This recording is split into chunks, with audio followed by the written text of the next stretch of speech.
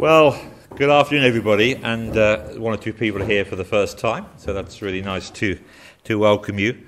So, the regulars will know um, once a month on a Wednesday afternoon we have a, a lecture, and often it's from some from within the staff team or someone linked to CMJ. Occasionally, it's a guest from outside, and uh, we have a series of, of really good teaching sessions and. Um, Again, it's great to see you. Please feel free to come along next month, which will be our final one of 2019. So, next month we have Neil Osborne, and he'll be speaking about manna and its significance. Um, so, that's going to be really good. On the 13th of November, we start at 2 o'clock with refreshments and the lecture at 2.15, and we try and finish with um, the lecture about 3 o'clock, a little bit of time for Q&A, and then you want to stay around uh, there's lots of free literature here to take. If you want to buy a book for Christmas, and why wouldn't you? That'd be really, really lovely before you went. So today we have um, Fran Waddams, who is going to be speaking uh, to us. Very, we we welcome Fran, but she needs no real welcome because she's uh, a regular volunteer here and does some really helpful volunteering work for the UK, uh, for CMJ UK. Um, but wider than that, she's had uh, a very important advocacy role for Israel o- over many years, and some of you might know her from that context, as well as her work here as volunteering with CMJ UK. And she's going to be speaking today about an advocacy event uh, rooted in CMJ's history, which also has some important applications for us today. So, um, will you please welcome Fran and invited to come and speak to us this afternoon? Thank you very much.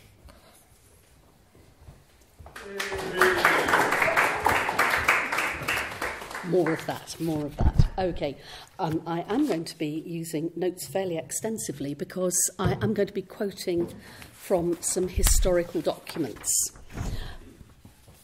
Um, Alex thinks technology isn't going to end well, but I did press it. press it. Okay. so, I got into um, advocacy about 15 years ago, um, and it was uh, through just learning, uh, learning a bit more about um, the truth, really. Uh, no, you. Oh, you want me to speak? Dear, I don't know. You would never think I've been teaching for years, would you? So. so uh, it's about 15 years ago, and the way that I came into it was not so much from a, a theological perspective, but just because it felt like the right thing to do. Um, I was aware of the calumnies that were being spread about Israel.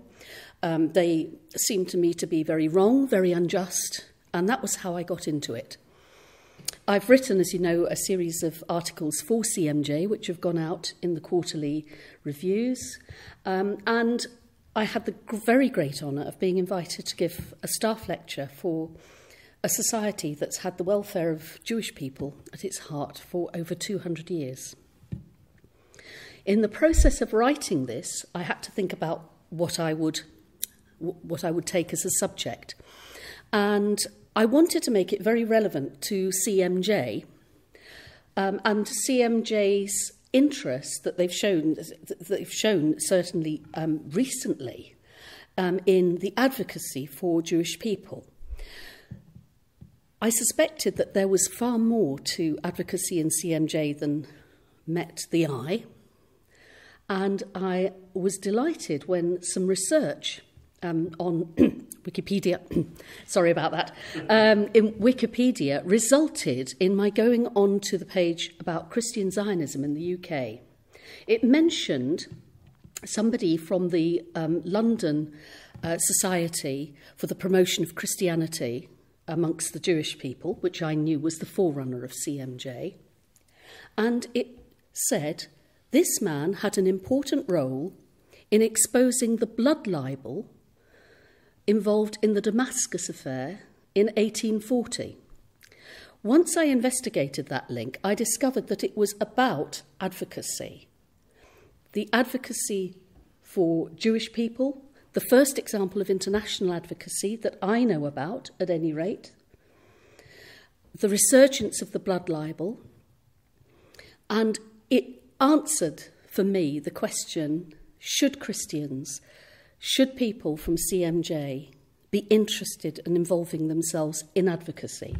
So, ladies and gentlemen, I give you the Damascus affair of 1840. Now, whilst um, I am hoping that I, because of the screen, it's hard for me to see. There we go. Whilst this is coming up on the screen, this is going to be a short video which will outline the Damascus affair from the point of view of Jewish scholars. But before I say this, I want to dedicate um, this particular lecture to those people who are here and who are not here, who are from this area who've decided to engage in advocacy not only for Israel but also for the Jewish people in the UK. I know there are some people here, and this is dedicated to them. This video will give you an overview of what the Damascus affair was about. And I think it'll, it'll help later because I've got to bring in all kinds of people and names and geography. So, the Damascus affair, the resurgence of the blood libel in modern times. Anti Semitism is almost always a current event. It reflects and often magnifies the fears and anxieties of the times. The blood libel is no exception. In 1983, Mustafa Tlass, Syria's defense minister, wrote a book in which he claimed that the Jews of Damascus committed ritual murder in 1840. In his introduction, he wondered how such terrible crime could have happened in a place like Damascus. His conclusion The Jews isolated themselves so as to surround themselves with mystery, so the Muslim world knew almost nothing about them. Thus, it is not surprising that Damascus was shocked by this loathsome crime. However, it rapidly overcame its ignorance about the Jews, and now every mother warns her son Be careful not to stray far from home, lest the Jew comes, puts you in a sack, takes you, and slaughters you, and drains your blood in order to prepare the matzah of Zion. Generation after generation passed on this message of the treachery of the Jews. What really happened in Damascus in 1840 reveals how an ancient lie is used in power politics, then and now. On the evening of February 5, 1840, a monk known as Father Thomas and his servant disappeared without a trace in Damascus, Syria, then a part of the Ottoman Empire. Neither man was ever seen again. Within days, Thomas's fellow monks spread the rumor that the Jews had murdered him for his blood. This was not the first time Christians in the Ottoman Empire made such an accusation. There were other similar charges in other cities in the early 1800s. But in every case, the authorities dismissed the accusation as false. This time, they took the matter very seriously. Why? The new charge came at a time when the Ottoman Empire was beginning to crumble. In 1831, Muhammad Ali, the viceroy of Egypt, took advantage of that weakness to force the Ottomans out of Syria and name his son governor general. Many European nations saw the struggle for power within the empire as an opportunity to expand their influence in the region by supporting one side or the other. France supported Muhammad Ali. Therefore, France's main rivals, Britain and Austria, backed the Ottomans. To complicate matters, some people in Damascus and other cities in the Ottoman Empire were under the protection of a European nation. Among them was Father Thomas, who, like other Christian missionaries in the empire, had French protection. That is why the French consul led the investigation into Father Thomas's disappearance and oversaw the interrogation of one Jew after another. When the Jews refused to confess, the French turned them over to the Syrians, who tortured the Jews until they finally told authorities what they wanted to hear. The French consul claimed that he had at first doubted that Jews employ human blood in the celebration of their religious mysteries. But the mounting evidence overcame his doubts. That mounting evidence consisted mainly of a few forced confessions. There's no record that any Christian or Muslim in Syria challenged the idea that Jews commit ritual murder until the French consul targeted a Jewish merchant under Austria's protection. The Austrian consul immediately insisted that the merchant's rights be protected. He refused to allow that Jew to be tortured. The stand taken by the Austrian consul placed Syria in a bind. The only way to get the confessions that the French were demanding was through torture. But to do so in defiance of Austria could be dangerous to Syria's governor general and his father, Muhammad Ali. It was now clear that the fate of the Jews would not be decided in Syria. People in Europe and America knew nothing about events in Damascus until March, when the first letters from Syria reached the West. Many of these letters came from frantic Jews. Others were written by diplomats, businessmen, missionaries, and travelers. After reading them, one Paris newspaper noted Rightly or wrongly, the Jews have the terrifying and inconceivable reputation of sacrificing a Christian on their Passover and distributing the blood to their co religionists in the region. Such comments outraged European Jews who wrote indignant letters to the editors. Some even persuaded newspapers to print the Haggadah, the book read in Jewish homes on Passover, to prove that Judaism does not require ritual murder. Gradually, these efforts altered the conversation. A number of prominent Jews also met privately with government officials to secure justice for the Jews of Damascus. They found the British and the Austrian governments eager to help mainly because they saw that affair as an opportunity to embarrass Egypt and France. The French government, however, stood firm in its support for its consul in Damascus and Muhammad Ali. By the summer of 1840, the Middle East was on the verge of a war. The Ottoman Empire and its European allies had given Muhammad Ali an ultimatum. Give up Syria in 30 days, or we will attack. To show they were serious, the British sank a number of Egyptian supply ships in the Mediterranean. Two days later, Muhammad Ali gave up his claim to Syria. He also decided to free Jews held as prisoners in Damascus. Jews around the world rejoiced. Their efforts, however, did not end the blood libel. It continued well into the 20th century. But their efforts did show what Jews could accomplish if they had the will to do so. Never before had so many Jews in so many places worked together to alter public opinion. Many Jews also took pride in the fact that a large number of Christians supported the Jews of Damascus. Christians who believed the Jews of Damascus were guilty had a different view of the Damascus affair. They saw the outcome as proof of Jewish power and evidence of a Jewish conspiracy. On the other hand, Muslims in the Middle East in the 1840s saw the Damascus affair as a footnote to the larger story of European imperialism. The affair itself illustrates not only the power of a lie, but also why this hatred is so easily manipulated. As Mark Twain once observed, the truth is not hard to kill, but a lie well told lives forever.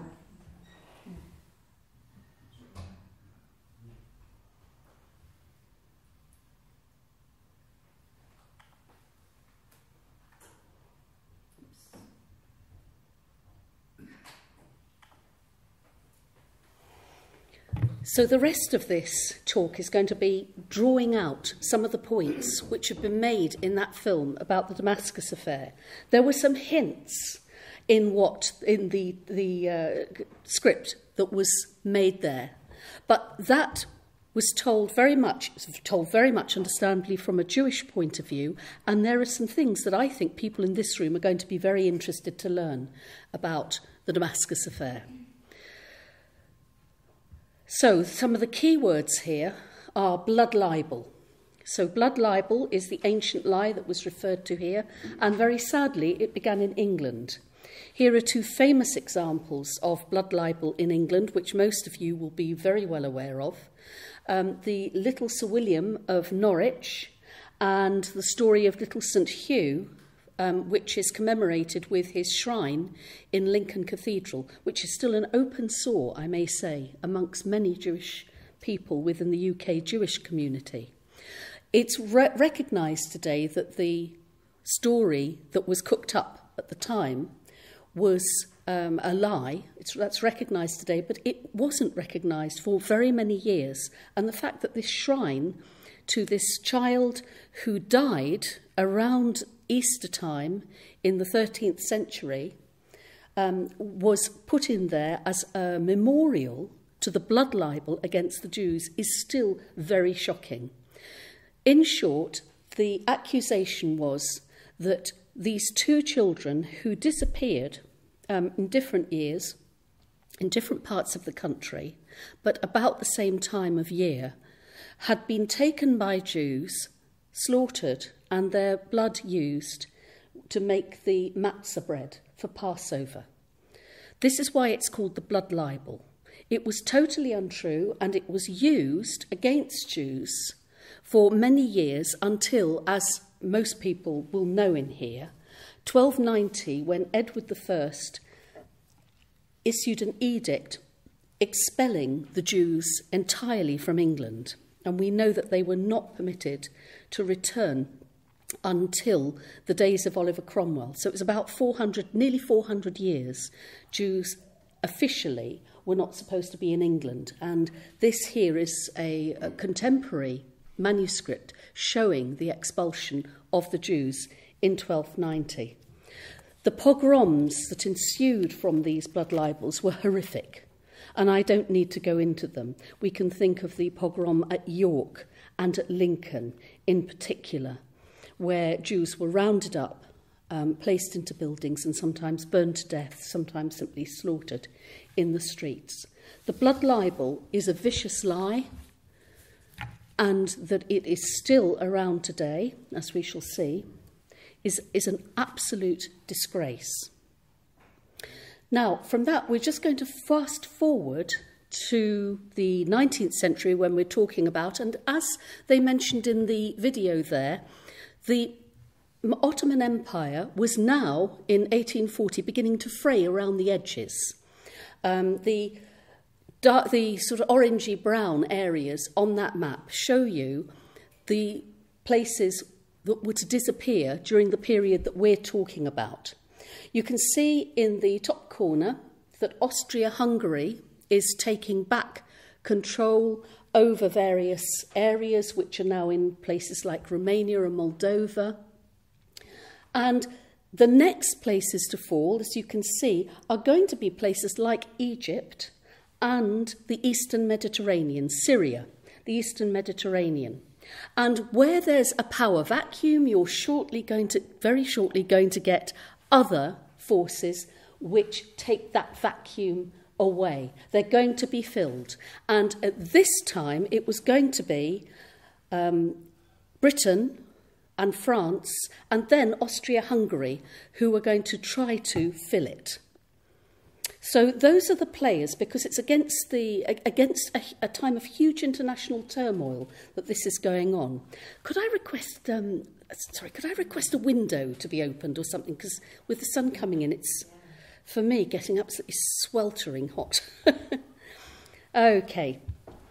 So at this time, as everybody will know, Jews are returning to Jerusalem.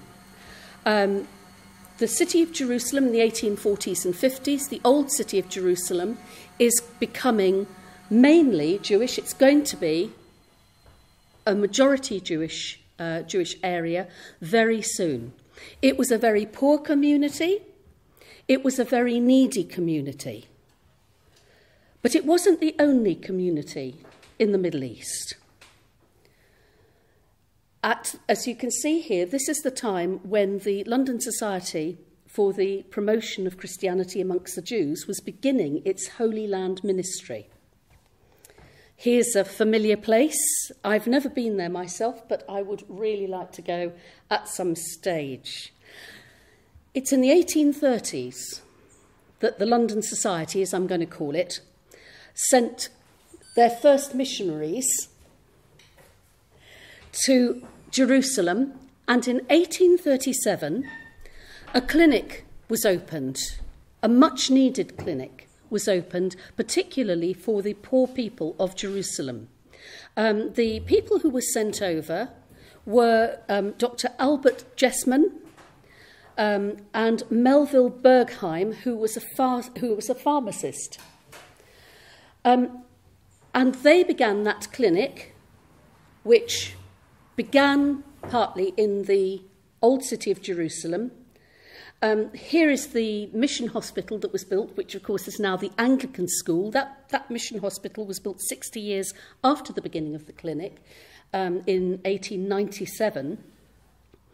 Um, but there was somebody else who went over as well. And this man was somebody who was interested in mission rather than, uh, rather than the medical side. And I was hearing people at the uh, dinner, ta- the lunch table, discussing who could get into the Middle East and who couldn't, who could get into Jerusalem. And th- this was the Reverend G. W. Pieritz, who arrived in Jerusalem with the London Society Group in 1837. So we're now set up, bustling place. Here's our introduction then to the Damascus affair. Here's what it did it precipitated the first international advocacy for Jewish people of the sort that we recognise today. The Damascus affair revived anti Semitism in France via the blood libel. In Europe, you understand, the blood libel and that the and religious anti-Semitism was still there, but it had rather gone underground. It was beginning to take on sociological aspects because of the Enlightenment, because of interest in science. So the reduction of the influence of religion with opinion formers at that time meant that the anti Semitism was beginning to morph in other ways. But this event revived the blood libel in France. Another result was that as a, res- as a result of the Damascus affair and the persecution in it, the need to defend Jews resulted in international cooperation between Jewish organisations and Christians were also stirred to advocate for the Jewish communities, and they referred to them as Israel. And at the forefront of the Christian organisations was CMJ in its London Society form. So, 19th century Damascus. Here's a, a view over 19th century Damascus. I mentioned that there were other communities of Jews within, within the Levant and within all across North Africa, and Damascus had one of the richest of those in every sense of the word. There were about 4,000 Jews in Damascus at the time, um, some of the families very well off. There was also a thriving Christian community. Remember that the, the, the Jewish and the Christian communities were centuries old. The Christian community, of course, was there from the day of Pentecost. Paul found them when he went there only a few years after the resurrection events. And the Jewish community, of course, had been there since earliest times for many, many hundreds of years before Christ. The, Jew, the Christian community was largely under French protection, but the Jews were under the Austrian protection. The leader of, the, of Damascus, the Pasha, was Pasha um, Sharif, and he was the adopted son of Mehmet Ali, who was the viceroy of Egypt.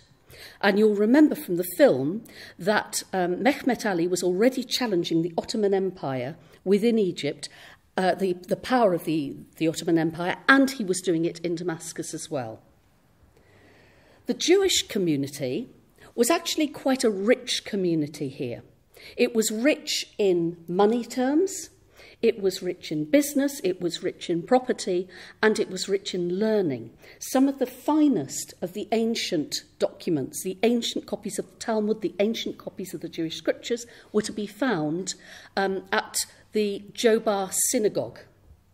The Jobar Synagogue is still, or was still, one of the most famous of the synagogues in um, Damascus. It was the most ancient. Um, it's saying there the shrine and synagogue of Prophet Eliyahu Hanavi, which is Elijah the prophet, and it's actually there since 720. What they said was since 720 BC. Now, whether or not that is entirely accurate, this this synagogue and this Jewish community had existed hundreds of years before Jesus was born. So we've got the centre of Jewish learning, we've got a, really quite a prosperous and powerful Jewish community in Damascus. And then come the events of the 5th of February in 1840, when Father Thomas and his servant Amara, who, is, who were pictured there, disappeared. They were later um, said to have been found in the ditches and the drains, or the remains of their bodies have been said to be found in the ditches and the drains of Damascus. The last known reports of them being seen were in the company of a merchant, a Muslim merchant in the area, with whom they were having, apparently, Father Thomas was having a significant heated discussion. Um, but when the question came, what has happened to these people? Father Thomas's monks, his fellow monks in his community, as they said, immediately they blamed the Jewish community. They revived the old blood libel. 5th, February the 5th seems a bit early for a Passover ritual, but they revived this blood libel and they immediately claimed that this was what had happened to Father Thomas. He had been taken and he had been um, uh, murdered in order to give blood for the Passover matzahs. A Jewish barber was arrested for this, and subsequently, when he refused to confess other people were then arrested as well, and they were terribly tortured. The use of the bastinado, which is essentially just beating people, um, especially on the soles of the feet, were used. And more and more people became arrested, and indeed, at one stage, there were 63 children who were arrested in order to try to put pressure on their parents because they were not telling the stories that the um, that, that the uh, Pasha, Pasha Sharif, wanted to hear. Very sadly, the French consul, who was Le Comte de Ratti-Menton, was encouraging, he was friends with Pasha Sharif, and he was encouraging this story and actually sending back reports to France about the blood libel. Reports appeared in the Paris papers. This, this was becoming an international incident. But at the same time, Jews were also writing to people elsewhere in the empire, and they were going to have sympathetic ears in both the Austrian Hungarian Empire and in Britain, at least partly because those countries were looking for a foothold and a reason to be able to establish more of a foothold and more of a stronghold in that part of the area, uh, that part of the world as the Ottoman Empire collapsed. Now, within Damascus itself, we had a British consul, um, a man called Nathaniel Werry, and his grave is shown here. It's in Izmir, in what is today Turkey. Um, and uh, he, unfortunately, very much took the view that it probably was a blood libel. But on the other hand, you had the Austro Hungarian consul who was called Giovanni Merlato, and he became involved when one of the Jews, who was a powerful and rich merchant who and was under the protection of the Austrian consulate, he um, was able then to intervene. And um, I just want to, to read a couple of the um, things that were said about these people, uh, by these people. Um, so, for example, uh, here's what Werry, Nathaniel Werry, said. Um, and he writes to Lord Ponsonby, who's the British ambassador in Constantinople, the head of the, uh, the capital of the Ottoman Empire. He says, I now proceed to communicate um, your, to your lordship what further information I've obtained. It has been immemorially the received opinion and belief of the Christian population throughout Turkey, and several instances have been brought to light by local governments in different parts, that the Jews scattered throughout the country immolated clandestinely Christians to obtain their blood to celebrate their feasts therewith in their religious ceremonies, and this fact has been proved here. Well, of course, by this time, what had happened was that the poor barber who'd been arrested, who was, I'm afraid, tortured to death, had confessed in the end to well to say he'd said what they had wanted to hear, and disgracefully, Werry went along with it. Um, on the other hand, Merlato, who was the Austrian consul, um, said the Austrian consul, who had hitherto watched the proceedings with ever increasing disgust and reprobation, had an opportunity to intervene. He demanded the immediate release of the Jewish merchant, and this course the French consul opposed to the utmost, but the Austrian demand could not be refused, and um, Picciotto, who was the name of the uh, Jewish merchant, was actually released at that point. But nevertheless, there were still dozens of Jewish people who were in jail in Damascus and being tortured. Now, the newspapers got hold of it. Um, here we have something from the Times, which I'm going to come back to because of the contents absolutely at the top. The French newspapers reported the confessions in the Damascus affair, but they didn't mention that they were obtained and extracted under torture. Fake news, anybody? Plus ça change, eh?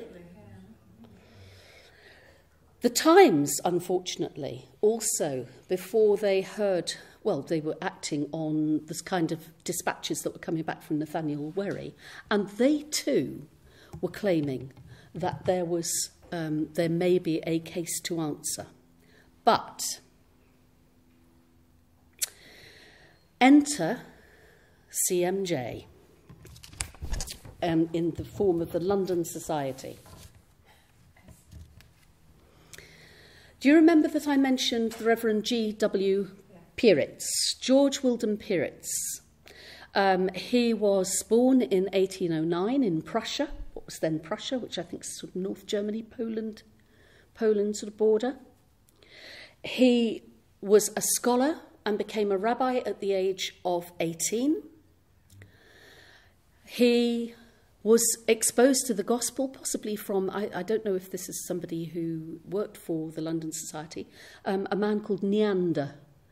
Um, he was pro- may have been in Holland at the time, um, he, but he was converted and baptized in 1834, and he was sent with that mission, that medical mission, to the Holy Land by the London Society in 1837.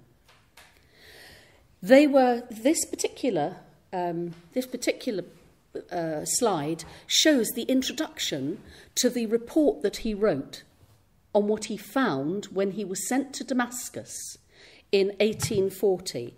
And it starts off there, the bit that I've um, circled, which you perhaps can't read, is an appeal was made by the Jews themselves, this is the Jews of Jerusalem, to the members of the Christian mission at Jerusalem, established by the London Society for Promoting Christianity amongst the Jews.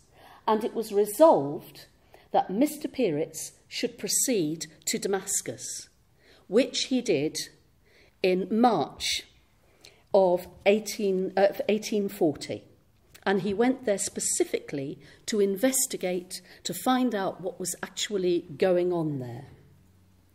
So we now have CMJ exerting itself to advocate and to, to um, intercede on behalf of Jewish people, to find out what the truth of it is and to make it known. And so he, so um, George Pieritz is sent to Damascus to investigate and report, and this is the published version of the, the extensive report which you can get, you can find on the internet.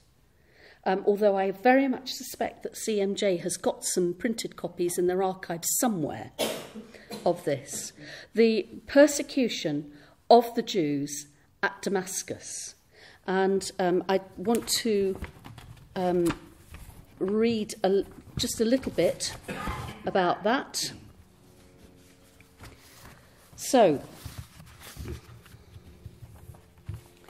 his report, his conclusion of his report at the end, which was printed here, was I found the whole charge against the Jews there a vile fabrication and that all means and right of legal defence was denied to them, whilst the most cruel tortures were employed to extort from them false confessions of guilt. Once Pieritz had finished, which was in, I think, late April in 1840, he went from Damascus to Alexandria and he presented a petition to Mehmet Ali, the Pasha there, the Viceroy, Ottoman Viceroy, to whom he was presented by the British Consul General, appearing um, but uh, being presented by the uh, Consul General and got a very sympathetic hearing from Mehmet Ali. You can imagine that um, was not amused. Werry himself was personally mentioned, and uh, he says, I find my friend, he apparently put in italics, the missionary for the conversion of the Jews at Jerusalem, not content with giving me a bad character at Beirut, as having taken an active part against the accused Jews for the murder of Padre Tommaso and his servant, and entertaining illiberal and uncharitable sentiments against the Jew nation, has been to Alexandria and made such strong allusions on my conduct towards Colonel Hodges that he required Mr. Pieritz to put them in tangible shape. I, Pieritz was asked to write about him. Um, it goes on in that sort of vein. Werry, you will um, perhaps not be too sorry to hear, was not believed in London. And indeed, Lord Palmerston and the London diplomats um, said, uh, commented and wrote that he was far too ready to believe horrible stories, far too ready to believe the, the, um, the French version of events, far too ready to believe the worst of Jewish people, and far too bloodthirsty in his support of the torture that had been used to extract the confessions So, three cheers for um, the Foreign Office for once. So this particular, so this particular this particular report, which um, I have to say I couldn't carry on reading in the end because he was so graphic in describing the sort of tortures that were inflicted on people in order to get them to talk. It was tr- it was really horrible. Um, this particular report was published in the Times And in the end, it was actually printed as a booklet by Sir David Salomons, who was the first Jewish mayor of London. Um, even though Sir David Salomons, being aware of the nature of the, of, of the society um, and clearly not very happy about um, missionary activity going on amongst Jews, nevertheless, he was so impressed by the work that Pieritz had done that he was prepared to publish this, and you can get copies of this. Um, it's, it's hard to get them, but you can get them. So, in, um, oh, I'll just flip back a moment to this one. Um, you can't really see it, but right at the top here it says, this is from the Times, we have already published the narrative Mr. Pieritz, which is one of the most cogent justificatory pieces we have seen, connected with the um, accusations brought against the Jews. So in the Times, the work of this man from CMJ, the advocacy work, got mentioned in there.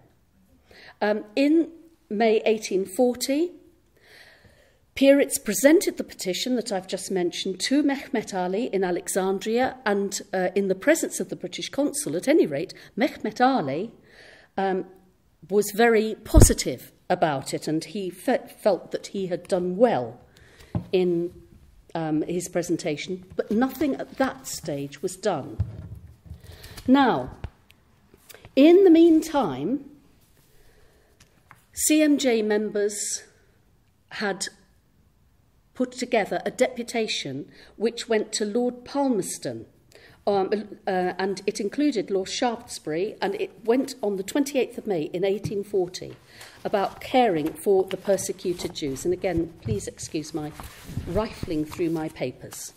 A deputation consisting of Lord Ashley, the Bishop of Ripon, Ripon, Sir Thomas Baring, the banker Sir George Rose, the Member of Parliament and diplomat and others waited on, on Lord Palmerston on the 28th of May. They presented a memorial from the London Society for Promoting Christianity Amongst the Jews, expressing in very strong and feeling language the deep sympathy of the members of the society um, with the Jews. So, at the very highest level, CMJ was working with politicians and diplomats. Here's somebody that I think most of you will know about, and this is Alexander McCaul, and he too played his part. It was because of this affair that he wrote um, his book, which is The Reasons for Believing That the Charge Lately reviled against the, Revived Against the Jewish People is a baseless falsehood, and it was a refutation of the blood libel. And with her permission, it was dedicated to none other than Queen Victoria herself. Queen Victoria took a personal interest in this affair. She hadn't been queen very long at all, but of course she was deeply influenced by Lord Palmerston, who himself must have been very interested in the affair, because as anybody who watched Victoria knows, the series, she was very much influenced by Lord Palmerston. Questions were asked in Parliament by Sir Robert Peel, and Lord Palmerston himself actually responded and said that um, he had uh, in, he had instructed, already instructed, the British consul in Alexandria to bring the subject to the serious attention to the Pasha of Egypt and to point out to him the effects that it must have on the public mind in Europe. This is classic advocacy, ladies and gentlemen. This is classic speaking out on behalf of Jewish people. In the meantime, the Board of Deputies of British Jews had not been idle. They sent a delegation from the UK in the form of Sir Moses and Lady Montefiore in July 1840. Um, the Queen received Sir Moses and his wife before he left, which gave a royal seal of approval on this activity. But sadly, um, it, he, when he got to um, when he got to Egypt, to Alexandria, he didn't get anything like the response that um, had received in the presence of the British consul. Um, in the meantime, so this is uh, the 14th of August, the 14th of August, he wrote a very despondent letter saying that the Sultan had told him essentially, Mehemet Ali had told him essentially, that he hadn't got time for what was for helping in any way. Um, I've just mentioned these two here Lord Palmerston and Metternich, Prince Metternich, the famous and great Austro Hungarian diplomat in the 19th century, both of whom interceded on behalf of the Jewish people. I'm sure that the commentators in the first video were correct in saying that it wasn't entirely altruistic. There were ulterior motives because they wanted to extend their influence in the crumbling um, Ottoman Empire. Nevertheless, they still did it. The heart of man is in the hand of the Lord like drops of water.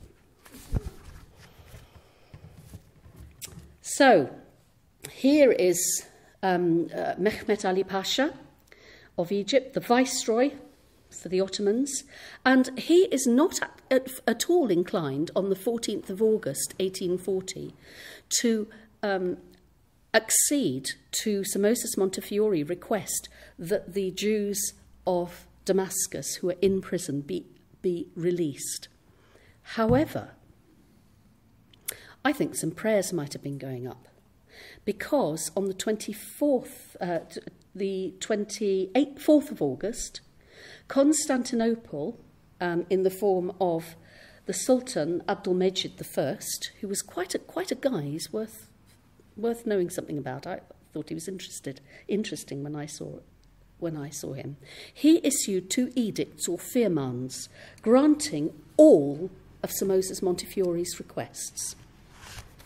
Now, whilst he didn't exactly have the power to do it himself, because as I say, um, uh, the, the Pasha of Egypt, um, Mehmet Ali Pasha, um, had, if, it had effectively booted the Ottomans out of those areas. Nevertheless, um, what the Sultan said, what the new Sultan said, um, had the backing of Great Britain and the Austro Hungarian Empire.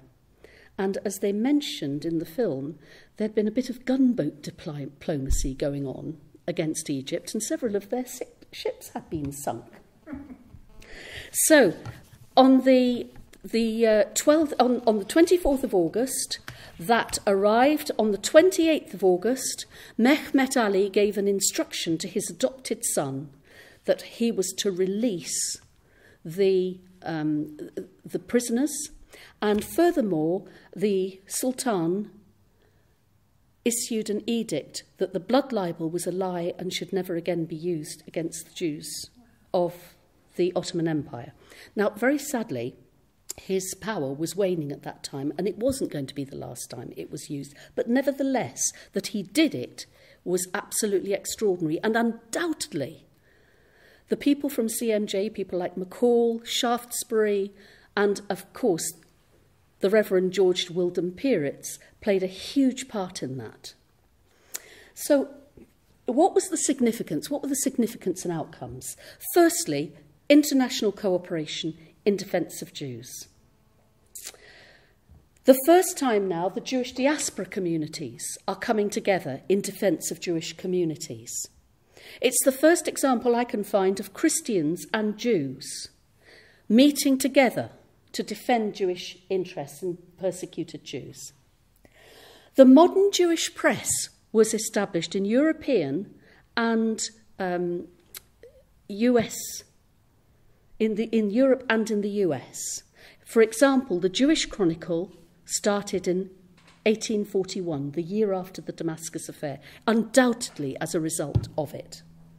And it's, and it also meant the revival of blood libels in Europe and in, especially in the Arab countries, which, as the earlier film showed you, still lasts today. And it was the first example of a Christian organisation engaging in advocacy for Jews. And guess what? It was this one. So, what about now? Here's the Jobar Synagogue prior to destruction, and here it is now, sadly, after the Syrian civil war. Has the blood libel gone away? No. It hasn't. From a Liberal Democrat peer, although I think she's actually been thrown out of the Liberal Democrats now for this, um, Baroness Tonge, asking Israelis to prove that they were not harvesting organs of children that they were helping during the Haiti earthquake rescue. Oh, yes. To um, this appalling appalling cartoon that was published in The Independent in 2003. This is classic blood libel stuff. And what's even worse about it, folks, is that when Jewish organisations and the Israeli embassy lodged objections. It went to the press commission, and the press commission said, oh no, it's not anti Jew, it's only anti Zionist, it's only anti Israel. And furthermore, to add insult to injury, that year, this was awarded the political cartoon of the year, which just shows you the state of the. It would never do it now. This is one of the great things. This is what advocacy has done. There has been an improvement. That would now never be found in the Independent, although there are some cartoonists who might try to do it. And um, sadly, it still goes on the persecution of Jews simply for being Jews goes on. This shot was taken last week in Halle in Germany, and this is a picture of some of the gunmen that tried to get into the synagogue. They only failed because Jews now have to take such measures of self defense in Europe in any of their institutions. Jews and Jews alone have to do this. The need for advocacy for Jewish people has never been greater. And the blood libels now are centred around the nation of Israel. CMJ was the first Christian organisation to engage in advocacy as we understand it today. It has a proud history. Let's continue it. Thank you.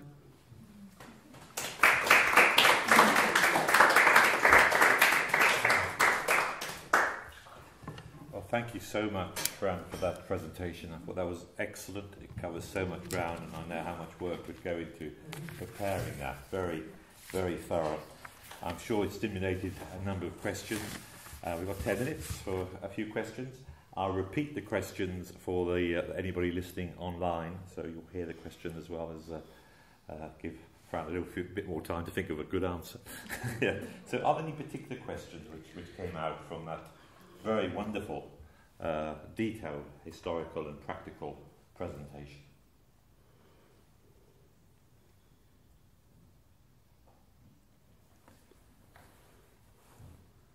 Well, I've got two questions, if I may, then that gives them for if anybody else has any. You talked about Father Thomas Yes. being a being a monk. Do you know what religious order he was, or where he, what church he belonged to at all? He was Italian and he was Catholic. Okay. And at the time, unfortunately, the Catholic Church um, was going through uh, the a period which was known as the Ultramontane period, where the papacy was trying to establish um, its authority over the Catholic Church, and it was it was very very traditional. Um, it was a long way from the um, the encyclicals which came out in the last century from the Roman Catholic Church about um, our elder, referring to the church, to the Jews as our elder brothers. Um, and unfortunately, when asked to do to intervene um, to save the Jewish people who were being tortured and imprisoned, the Pope refused. Um, and my second question is just again a sort of factual question, which, which I didn't know that the Jewish people in Damascus at that time were under Austrian protection. Why, why was that? Why was there a link with Austria having that oversight? I don't think they were all Okay. under Austrian protection. Right. But this particular Jewish person was, from what I understand it, a rich businessman who was involved I in see. trade with Austria and therefore um, had a relationship with Austria that Merlato, who was the um, Austrian consul, Giovanni Merlato, could use in order to intervene in his case. Excellent. But he couldn't intervene in, in all the cases. Obviously, there were, at, at the time when um, Mehmet Ali ordered his adopted son, who was the um, Pasha, Sharif, uh, Pasha Sharif of Damascus, to release the Jews, there were still a no, uh, quite a number of them, quite a lot of them in prison. Okay. Anybody else? Well, it's just a comment. The, uh, there was a violent argument, it said, between a, shop, a Muslim shopkeeper and the farmer and his servant just before they disappeared. So, did, I mean, didn't anyone follow that up, or was that just brushed under the carpet? Do we know? Ye- I it was brushed under the carpet. Yes, that's exactly what happened. Um, in the in Damascus at that time, under the Ottoman Empire, uh, non-Muslims, which Christians and Jews obviously, um, were the status of dhimmis. They were people who had to pay the jizya, the um, the, the tax, Um, and so it far, suit, it far better suited the, um, the Christian religious community to accuse the Jewish community than it did to take it to say to the, um, the community that essentially ruled the Ottoman Empire, um, it was you. It was much easier to say it was them.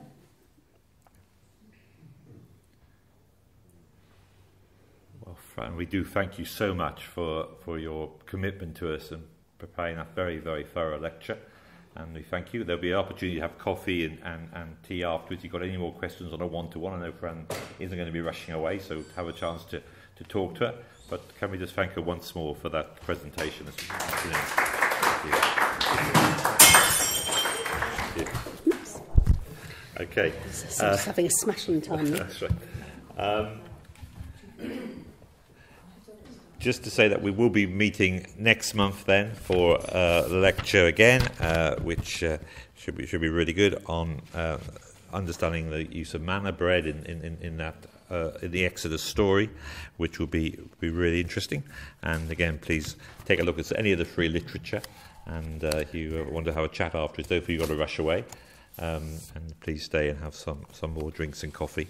So hope to see you next month again. I thought that was a really good lecture. I, my only time my mind wandered was when I was thinking of Muhammad Ali, and I got a, little, a little bit confused then. If, that, apart from that, but apart from that, I was with you 100% of the time. Thank you so much. Can I say something? I, got, I was going to mention it, but the, man, the, the postman came to me. But, um, in Leicester, uh, in about 2005, 2006, um, people have been praying 24-7, uh, called like prayer wall around the city. And one woman who had no idea about Jewish stuff or anything was praying and she felt God was saying that there was a, like a root of um, rot, a rotten root of evil in the city. And it was something to do with Jewish people and she had no idea at all. So she went to my sister Suki, a lot of you know and mentioned it to her. And Suki said well as far as I'm aware the Lord's people yes we're believers but in scripture it's Jewish people so anyway they did some digging and um, the area where the woman had been prayer walking and it turned out there had been a very big, strong Jewish community back in 1270 or something like that. Kept on digging, discovered that that was um, that uh, the Jewish people had been hounded out of the city by Simon de Montfort. 1231. 1231, so.